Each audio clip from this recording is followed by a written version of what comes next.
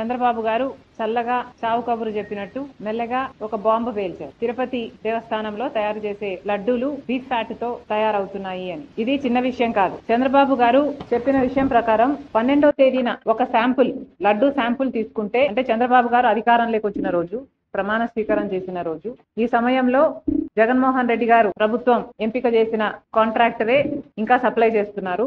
ఆ రోజున తీసుకున్న శాంపుల్లో బయటపడ్డ విషయం ఏమిటంటే లడ్డూలు తయారు చేస్తున్న ఈ ఫ్యాట్లో ఈ అంశాలన్నీ ఇవన్నీ ఉన్నాయని. Soybean sunflower olive rapeseed వీటితో పాటి బీఫ్ టాలో ఫిష్ ఆయిల్ కూడా ఉన్నాయి. ఇంత పెద్ద విషయం కోట్ల మంది ప్రజలకు వాళ్ళ భక్తికి వాళ్ళ మనోభావాలకు సంబంధించిన విషయం ఎంతో మంది సెంటిమెంట్స్ ఇమోషన్స్కు ముడిపడిన విషయం. మన రాష్ట్రంలోనే కాదు మిగతా రాష్ట్రాల నుంచి కూడా ఇక్కడికి వస్తారు. దేశ విదేశాల నుంచి తిరుపతికి వచ్చే వాళ్ళు ఉన్నారు. శ్రద్ధ భక్తి శ్రద్ధలతో ఈ ప్రసాదం నిజంగానే కళ్ళకద్దుకొని తీసుకునే వాళ్ళు కోట్ల మంది ప్రజలు. అలాంటప్పుడు బీఫ్ టాలో ఫిష్ ఆయిల్ కూడా ఉన్న ఈ పదార్థాలు కూడా ఉన్న లడ్డూని ప్రసాదంగా ఇస్తున్నారు అని చంద్రబాబు గారు నిన్న చెప్పడం జరిగింది. చంద్రబాబు గారిని అడుగుతున్నాం. చంద్రబాబు గారు ఇంత పెద్ద విషయాన్ని మీరు ఇంత సునాయసంగా ఇంత క్యాజువల్గా ఎలా తీసుకోగలిగారు? కోట్ల మంది ప్రజలకు వాళ్ళ మనోభావాలకు సంబంధించిన విషయం. ఈ విషయం మీరు కేవలం రాజకీయం చేయాలనుకున్నారా? కాబట్టే ఇంత సునాయసంగా దాన్ని ఒక పాసింగ్ కమెంట్ లా మీ వంద రోజులు సెలబ్రేషన్స్లో భాగంగా చెప్పారా? లేదు నిజంగానే చంద్రబాబు గారికి దీని సివియారిటీ ముందే తెలుసా?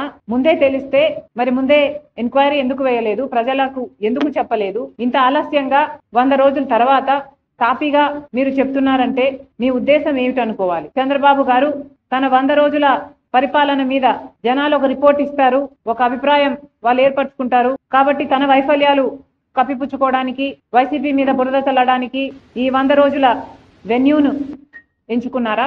ఏమీ అర్థం కావటం లేదు. చంద్రబాబు గారు సమాధానం చెప్పాలి. కల్తీ నెయ్యి కలిసింది అని చెప్పి తిరుమల లడ్డు విషయంలో మొత్తం దేశం అంతా కూడా ఉలిక్కి పడింది ఒకసారి మీరు చేసిన వ్యాఖ్యలకి. ఎంతో మంది హిందువుల మనోభావాలు దెబ్బతీశారే మీ అబద్ధపు ప్రచారాలతో. మరి వాళ్ళ మీద మీరు ఏం చర్యలు తీసుకుంటారు? ఈ కామెంట్ల ఆధారంగా సోషల్ మీడియాలో విస్తృత ప్రచారాలు అబద్ధ ప్రచారాలు చేస్తున్న ప్రతి ఒక్కళ్ళ మీద మీరేం చర్యలు తీసుకుంటారు?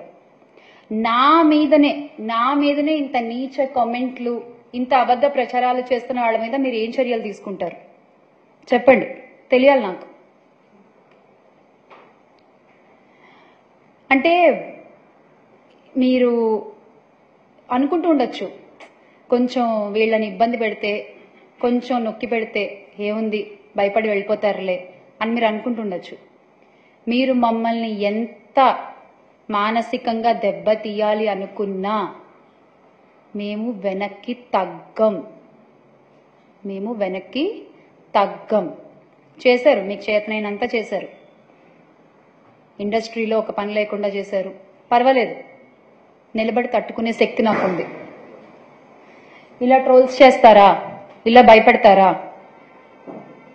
అడ్డుకునే ధైర్యం నాకుంది.